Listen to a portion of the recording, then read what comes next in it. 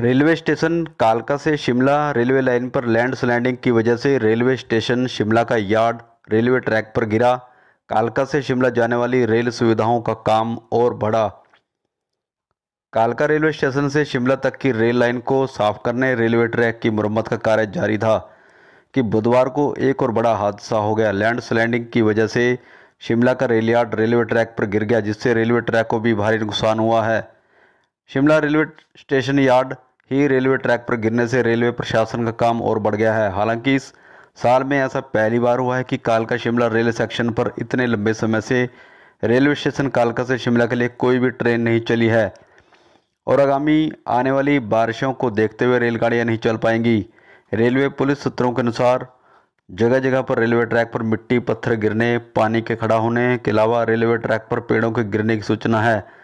जिससे railway station कालका से शिमला जाने के लिए छोटी रेलगाड़ियाँ फ़िलहाल बरसातों तक नहीं चल पाएँगी, क्योंकि पहाड़ों पर हो रहे भारी नुकसान के बाद रेलवे स्टेशन कालका में वीरानी छाई हुई है।